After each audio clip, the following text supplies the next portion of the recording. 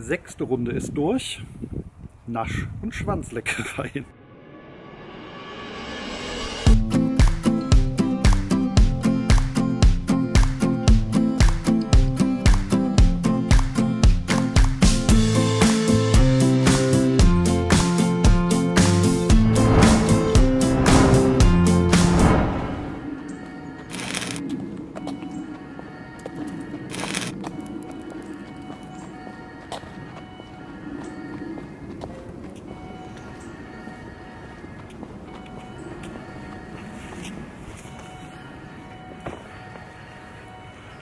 frohes neues Jahr zusammen. Ich hoffe, ihr seid gut ins Jahr 2020 hineingerutscht, hattet einen tollen Jahresstart und heute beginnen wir mit einem wirklich sehr interessanten Thema.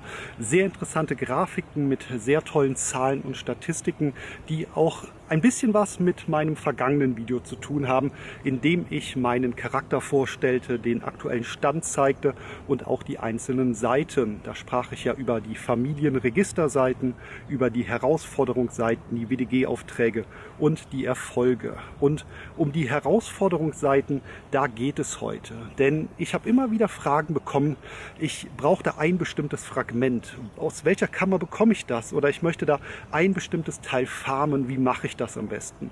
Und ja, das ist natürlich schwierig zu sagen. Man hat da so ein persönliches Empfinden und meint sah da immer so aus. Wir gucken uns gerade noch mal meine Herausforderungsseite an. Die erste Seite mit den Büchern, Bücher 1, 2 und 3, sind alle auf Gold, also soweit fertig. Und wenn mich jemand fragte, ich suche ein bestimmtes Buch, aus welcher Kammer bekomme ich das, habe ich immer die Ruinenkammern empfohlen, weil ich das Gefühl hatte, dass man dort die Bücher am besten irgendwie farmen kann. Dann die Scherzartikel. Ihr seht es, Scherzartikel 1, 2 und 3 alle auf Silbern. Und wenn ich da gefragt wurde, ich brauche da ein ganz bestimmtes Fragment, aus welcher Kammer bekomme ich das, da habe ich immer die Turmkammern empfohlen, weil es mein subjektives Empfinden war, dass man da eben am besten die Scherzartikel herbekommen kann. Doch natürlich stimmt das nicht. Man kann das nicht ganz so pauschal und einfach sagen. Und deswegen gibt es dazu natürlich auch Statistiken, Zahlen wurden gesammelt und kurz vor Neujahr wurde ich auf ein paar Grafiken bei Instagram hingewiesen. Und die schauen wir uns jetzt erstmal zusammen an. Die Grafiken, Zahlen, Statistiken, Excel-Tabellen, alles wie immer unten verlinkt. Also wenn ihr euch das nochmal genauer anschauen möchtet, dann tut das gerne. Diese Grafiken hier, die stammen von Kemshi und Luns Valentine deren Namen ich sicherlich falsch ausgesprochen habe. Und diese betreiben den Harry Potter Wizards Unite Kanal für Chile, haben da einen sehr interessanten Instagram-Kanal aufgebaut mit tollen Grafiken, zeigen da genau, was ist in den Events los, wo bekommt man welche Fragmente und ja, ganz viele tolle Sachen solltet ihr euch auf jeden Fall mal angucken. Und die beiden haben eben diese Grafik hier erstellt. Und ihr seht es schon, ganz links beginnt es mit Bücher 1 alles auf Englisch. Deswegen findet ihr das von mir jetzt nochmal übersetzt ins Deutsche, weil es dann doch ein wenig einfacher ist. Ähm, ich wollte euch nur gerade mal die Grafiken zeigen.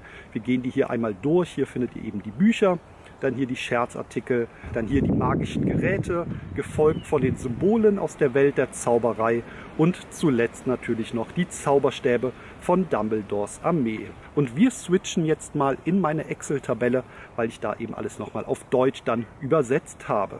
Und ganz oben fangen wir an. Bücher 1, Geschichte von Hogwarts. Das ist das allererste Buch, das wir in unserem Herausforderungsregister finden. Und dieses bekommen wir mit der höchsten Wahrscheinlichkeit in der Ruinenkammer 1 und zwar mit einer Wahrscheinlichkeit von 10%. Und jetzt fragt ihr euch vielleicht, wie kann man das so genau sagen?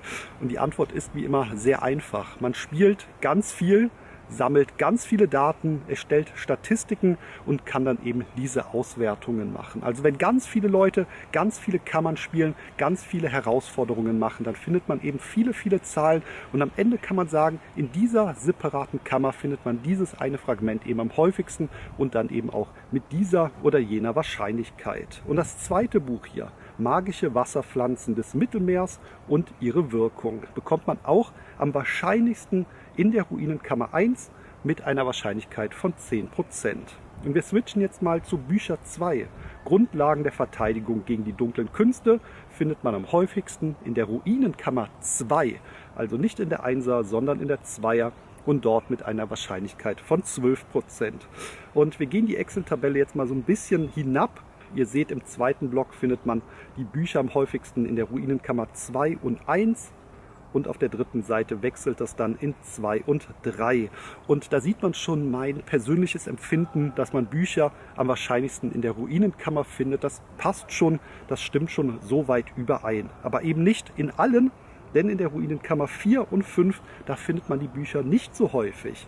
Denn in der Ruinenkammer 4 bekommt man zum Beispiel von Scherzartikeln 1 die Ausziehohren sehr häufig und die nasebeißende Teetasse jeweils mit 14 und 10 Prozent.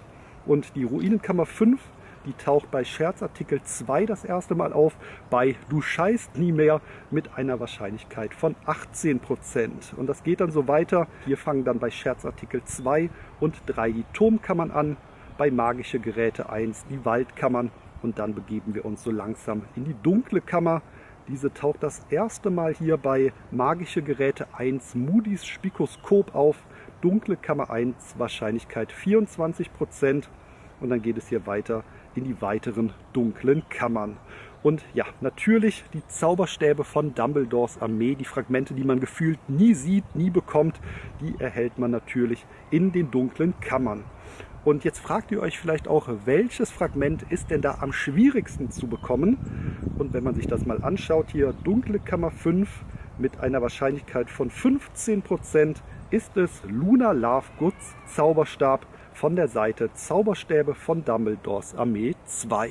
Also eine tolle, tolle Statistik, eine tolle, tolle Grafik von mir dann ein bisschen umgemünzt in diese Excel-Tabelle. Solltet ihr auf jeden Fall nutzen, wenn ihr eben ganz spezifisch Fragmente aus eurem Herausforderungsregister farmen möchtet. Und ich möchte das wie immer natürlich testen, möchte schauen, stimmen die Zahlen denn soweit auch für mich? Bei mir kann ich das irgendwie verifizieren und belegen.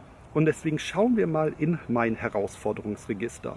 Was brauche ich denn da? Ihr habt es eben schon gesehen, die Bücher sind auf Gold, aber ich möchte hier mit den Scherzartikeln weitermachen. Und bei Scherzartikel 1 fehlen mir unter anderem noch explodierende Zauberknaller. Da habe ich 74 von 144. Jetzt schaue ich mal in die Liste. Explodierende Zauberknaller. Wo sind sie denn? Turmkammer 2, 17 Prozent. Und das würde ich sagen, testen wir, oder? Wir gehen jetzt rüber zu einer Festung und dann spiele ich ein paar Mal die Turmkammer 2, gucke, wie oft bekomme ich die explodierenden Zauberknaller und stimmt das so ungefähr mit den 17 Prozent. Klar, man kann nicht sagen, beispielsweise, man erhält irgendwas zu 20 Prozent, also spielt man fünfmal und hat dann eins. So funktioniert das nicht, das weiß ich, das wisst ihr. Aber so grob kann man ja schauen, könnte das stimmen, sind die Zahlen richtig und genau das möchte ich machen.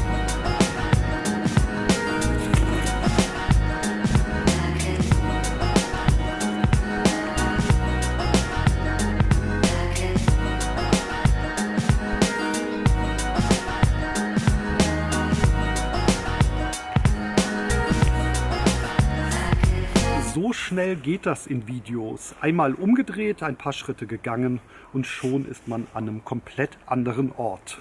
Einfach fantastisch, oder? So, wir sind an der Festung und vorab nochmal, weil ich gerade darüber nachgedacht habe, Runensteine, das wird sicherlich eine Frage sein, die in dem Zusammenhang hier mit dem Video kommen wird.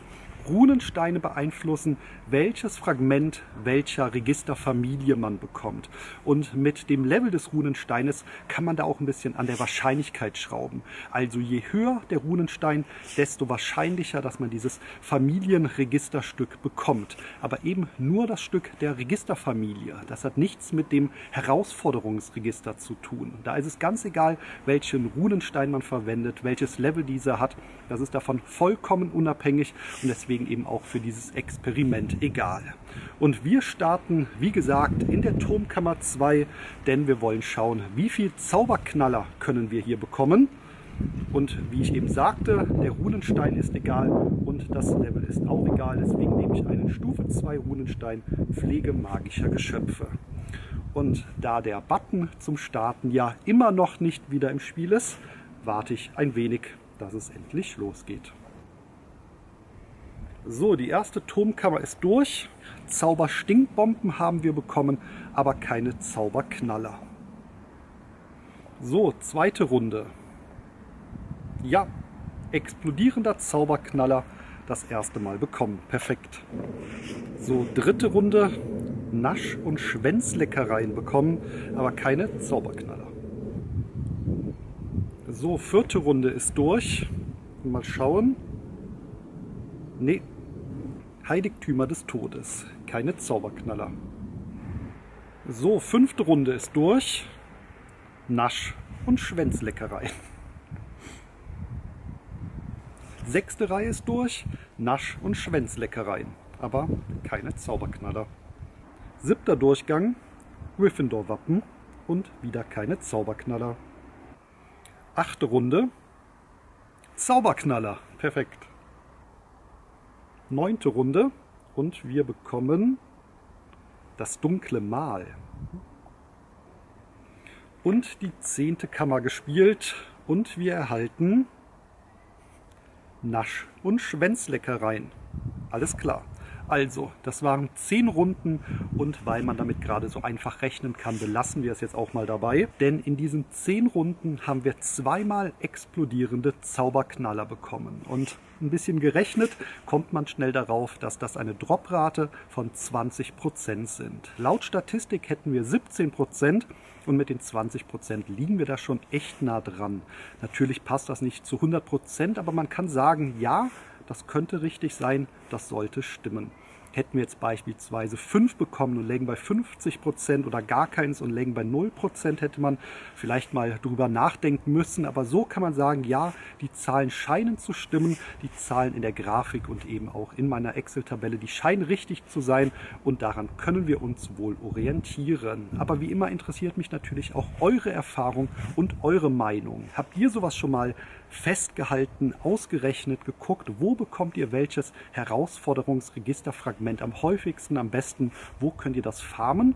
Gerade bei den höheren, bei den schwierigeren Sachen, dunkle Kammer, Zauberstäbe und so weiter. Wenn ja, dann haltet das gerne unten in den Kommentaren fest. Schaut gerne unten in die Videobeschreibung. Wie gesagt, das alles verlinkt, die Grafiken, meine Excel-Tabelle und dann testet gerne ein bisschen rum, probiert aus und haltet dann auch gerne in den Kommentaren fest, ob das eurer Meinung nach passt. Und wir sehen uns dann morgen wieder bei der großen Auslosung des Adventskalenders und der Geschenke von Elbenwald. Ich sage wie immer vielen lieben Dank fürs Zuschauen. Tschö und gerne bis zum nächsten Mal.